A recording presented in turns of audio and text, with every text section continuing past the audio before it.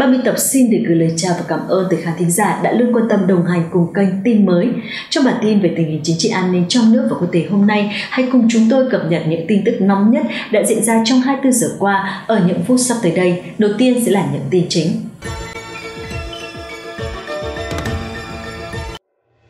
Tin cực kỳ khẩn cấp, hôm qua Hải quân Hoàng gia Anh đã nổi giận cho phóng tên lửa bắn cháy một tàu dân quân biển của Trung Quốc ở Biển Đông để trả đũa chính quyền ông Tập Cận Bình. Thưa quý vị, theo hãng Reuters, hãng tin nổi tiếng của nước Anh cũng là hãng tin nổi tiếng của thế giới cho biết, vào ngày hôm qua, một chiến hạm của Anh đã rẽ sóng qua vùng Biển Đông để khẳng định tự do hàng hải. Hãng tin Reuters trích dẫn lời người phát ngôn Bộ trưởng Bộ Quốc phòng của Anh cho biết, tàu khu trục của chúng tôi sẽ tiến vào Biển Đông sau chuyến thăm Ấn Độ và Australia. Để thể hiện rõ ràng hải quân của chúng tôi có quyền làm như vậy, ngay sau khi phát biểu của Hoàng gia Anh đã đi vào phạm vi 12 hải lý giáp quần đảo Hoàng Sa của Việt Nam, nơi mà phía Trung Quốc đang cho xây dựng bồi đắp trái phép 7 hòn đảo nhân tạo. Được biết ngay sau đó, phía chính quyền của ông Tập Cận Bình đã điều một nhóm tàu chiến bí mật theo dõi con tàu khu trục có trọng lượng 65.000 tấn của Anh Thưa quý vị, theo tiết lộ của một vị chỉ huy hải quân của Anh cho biết, tàu của chúng tôi có quyền đi qua khu vực Biển Đông. Chúng tôi có sứ mệnh bảo vệ tuyến hàng hải của thế giới ở Biển Đông và chúng tôi là đồng minh thân cận của Mỹ và là đối tác chiến lược về an ninh quốc phòng với các nước trong khu vực Đông Nam Á. Vị chỉ huy của Hoàng gia Anh còn cho biết thêm, theo thông tin chúng tôi vừa nhận được từ đồng minh của Mỹ, Italia và Tây Ban Nha, thì vào ngày hôm kia trên Biển Đông đang hết sức nóng bỏng và đáng báo động khi mà phía Trung Quốc cho bắn hạ một chiếc máy bay không người lái F-35 của Mỹ và có đụng độ căng thẳng với cả hải quân nước Italia và Tây Ban Nha. Đó là lý do vì sao mà hôm nay tàu khu trục mang tên lửa dẫn đường của Hải quân Anh có mặt tại Biển Đông. Một mặt chúng tôi sẽ thực hiện việc tự do hàng hải như đã nói ở trên. Chúng tôi sẽ thực hiện theo đúng luật pháp quốc tế và theo đúng công ước về luật biển năm 1982 của Liên Hợp Quốc. Mặt khác, chúng tôi muốn ra tay trừng trị Trung Quốc trừ khử Bắc Kinh cô lập chính quyền ông Tập Cận Bình vì tội đem con virus Vũ Hán, virus Trung Quốc, virus Tập Cận Bình đi gieo rắc đau thương cho toàn nhân loại. Nước Anh cũng muốn trừng trị Bắc Kinh vì tội chuyên đi gây hấn, bắt nạt với các nước trong khu vực Đông Nam Á và gây gổ đối đầu căng thẳng với các nước ở phương Tây. Chúng tôi có một nhiệm vụ và trọng trách quan trọng – đó là bảo vệ đồng minh của mình như Mỹ, Italia, Tây Ban Nha cũng như một số đối tác chiến lược ở khu vực Đông Nam Á, trong đó có Việt Nam.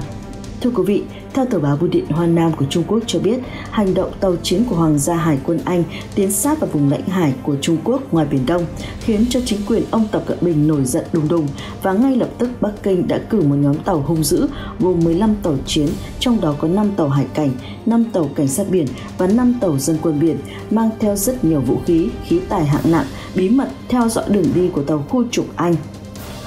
và vào khoảng 16 giờ 30 phút chiều ngày hôm qua giờ Việt Nam, nhóm tàu của phía Trung Quốc đã phát hiện ra tàu chiến của Anh tiến sát vào bên trong ranh giới tới đường lưỡi bò của phía Bắc Kinh. Lập tức, năm tàu dân quân biển của phía Trung Quốc đã lao lên hăm dọa, ra tín hiệu xua đuổi con tàu của Anh và ngay sau đó đụng độ căng thẳng đã xảy ra. Nhóm tàu dân quân biển của phía Trung Quốc đã cho phun vòi rồng và cho nổ súng bắn đạn thật bắn thẳng vào mạng sườn con tàu khu trục của Hoàng gia Anh. Ngay sau đó, các thủy thủ đoàn trên con tàu chiến Anh đã quyết định phóng hỏa, phóng tên lửa và làm cháy một con tàu dân quân biển của phía Trung Quốc. Khi phát hiện một tàu của mình bị bắn cháy, nhóm tàu của phía Trung Quốc nói trên đã cho tăng tốc, giàn trận bao vây con tàu chiến của Anh khi không chịu được sự cản đường vô lý nói trên, chỉ huy hạm đội hải quân của Anh đã phát lệnh cho tàu chiến bè lái, tăng tốc, đâm bẹp một con tàu dân phòng nữa của phía Trung Quốc để đánh tan vòng vây và cuộc đụng độ trên chỉ dừng lại khi tàu khu trục của Anh đi ra ngoài vùng đặc quyền kinh tế mà phía Trung Quốc tự nhận là vùng biển, vùng lãnh hải của mình. Thưa quý vị, theo tờ báo nổi tiếng của Trung Quốc có tên là China Morning Post, trích dẫn lời người phát ngôn Bộ Ngoại giao Trung Quốc bà Hoa Xuân Oánh, tay chân thân tín của ông Tập Cận Bình đã lên tiếng nói rằng Tình hình Biển Đông hiện nay đang có những diễn biến hết sức phức tạp và khó lường. Chúng tôi yêu cầu các bên liên quan, đặc biệt là các nước như Mỹ, Anh, Pháp, Đức, Italia, Tây Ban Nha, Nhật Bản, Hàn Quốc, Australia, Nga và Ấn Độ. Hãy tôn trọng Trung Quốc, tôn trọng luật pháp quốc tế, luật pháp của Bắc Kinh và đặc biệt là tôn trọng vùng lãnh hải trong phạm vi đường lưỡi bò mà Bắc Kinh đã cho đo đạc và cắm mốc ở ngoài Biển Đông, được các nước trên thế giới thừa nhận chúng tôi yêu cầu Bộ Quốc phòng và Hải quân của Anh cũng như Bộ Quốc phòng và Hải quân của các nước kể trên cho rút toàn bộ các tàu sân bay USS, tàu khu trục, máy bay ra khỏi vùng biển của Trung Quốc chúng tôi chính thức thông báo rằng hành động của tàu chiến Anh ngày hôm qua là vi phạm nghiêm trọng đến quyền chủ quyền, quyền tài phán và vùng đặc quyền kinh tế của Trung Quốc ở ngoài Biển Đông. Bắc Kinh sẽ đáp trả một cách mạnh mẽ nếu như tàu của nước ngoài và tàu chiến của Anh tái diễn vi phạm những hành động nói trên. Bắc Kinh sẽ không bao giờ dung tha và bỏ qua. Trung Quốc có thể bao vây, đánh sập hoặc có thể tịch thu nếu như các nước không tôn trọng chủ quyền đường chín đoạn mà chính quyền ông Tập Cận Bình đã đề ra ở ngoài Biển Đông.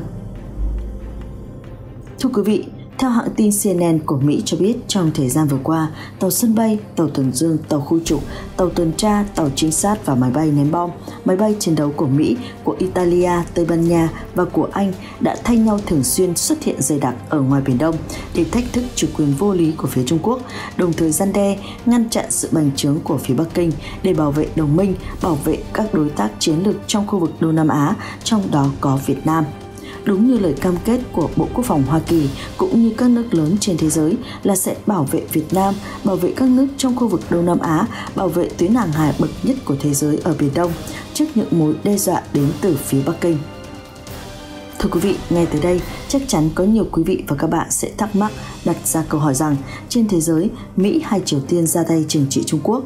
dám đánh Bắc Kinh là chuyện không phải bàn cãi rồi, nhưng tại sao bây giờ có thể thêm cả Anh thì xin thưa với quý vị rằng không ngẫu nhiên mà Hải quân Hoàng gia Anh lại đem tàu chiến cỡ lớn chở theo tên lửa dẫn đường bắn cháy tàu Trung Quốc ở ngoài Biển Đông. Tất cả đều có nguyên nhân khách quan, chủ quan của nó. Ở đây, Hoàng gia Anh muốn đánh Trung Quốc, muốn giàn mặt Bắc Kinh và cô lập chính quyền ông Tập Cận Bình bởi vì con virus Vũ Hán con virus Trung Quốc đang làm điêu đứng các nước ở khu vực châu Âu, trong đó có nước Anh. Tất cả tình hình Biển Đông, chúng tôi sẽ liên tục cập nhật và gửi cho quý vị vào các bản tin kế tiếp. Còn chương trình ngày hôm nay, chúng tôi xin phép được tạm dừng tại đây. Các bạn đừng quên bấm vào nút đăng ký kênh và nút chuông báo để theo dõi những tin tức mới nhất được chúng tôi cập nhật hàng ngày. Chúc các bạn một ngày vui vẻ. Xin kính chào và hẹn gặp lại.